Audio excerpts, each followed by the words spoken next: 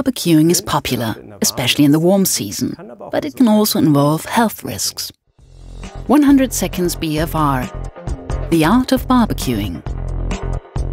The tricky part when grilling meat is to roast it well, so that all the germs are killed off, but not to burn it.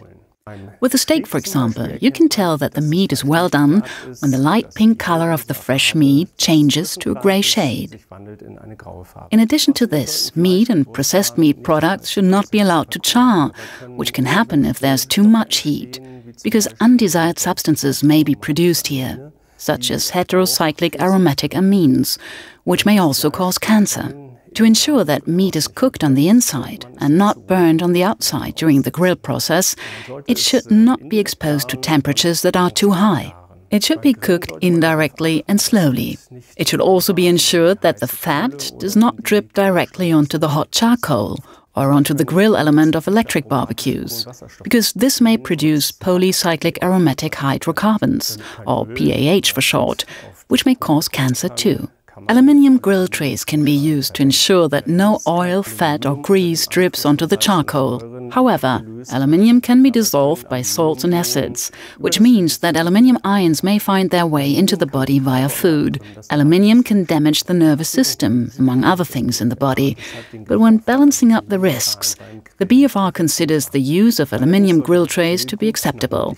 But, if possible, the barbecued food should only be seasoned and salted after grilling in order to prevent the aluminium ions from transferring to the meat. If you prefer to ingest less aluminium, you may also use grill trays, for example, made of stainless steel. Pickled meat is not suitable for grilling because the nitrite curing salt may convert into carcinogenic nitrosamines when severely heated. Consumers can recognize whether foods contain nitrite curing salt by checking the list of ingredients. When barbecuing in summer, it should be noted that non refrigerated foods in particular may go bad quickly. Raw animal products such as meat, fish, and egg pose a particularly high risk.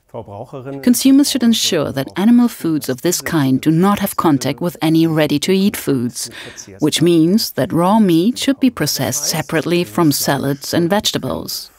Another utensils should be used for the cooked meat.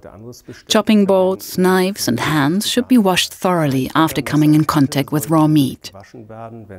Barbecue sauces and salad dressings should be kept in the fridge and only applied immediately prior to consumption. Dishes containing raw eggs, such as homemade mayonnaise, should not be offered at barbecues. If you're careful to ensure a well balanced and varied diet, you may enjoy the occasional barbecue without any worries at all.